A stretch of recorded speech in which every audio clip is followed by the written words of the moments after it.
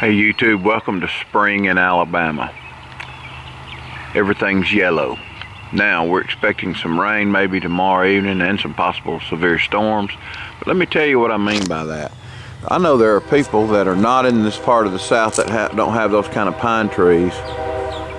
And they don't understand this till they see it. But do you see that yellow tint on the roof of my utility building? Or how about this? I know I can show it to you on my car. Check this out.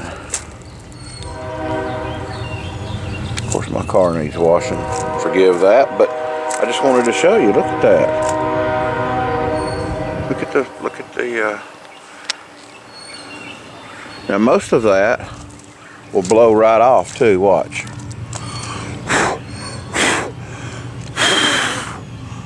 That's what we deal with, and people say, "Wow."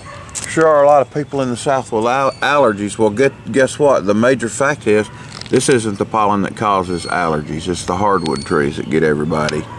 It's the hardwood trees that's getting me. Uh, that's that's what the research says. This stuff that you can see, if it got you, it, it, it'd kill you. So, I mean, but look at that. Look on there.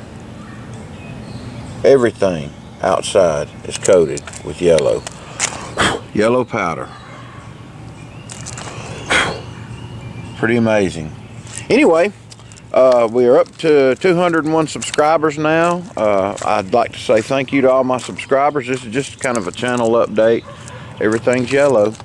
Um, but anyway, uh, we'll be doing a garden update before very long. I'll get my plants in the ground. I've got plenty of uh, nice pepper plants. This year I'm growing some, um, some Bhut Jolokia, some Fatalii, some ajis, some um, chocolate habaneros, and some red savinas.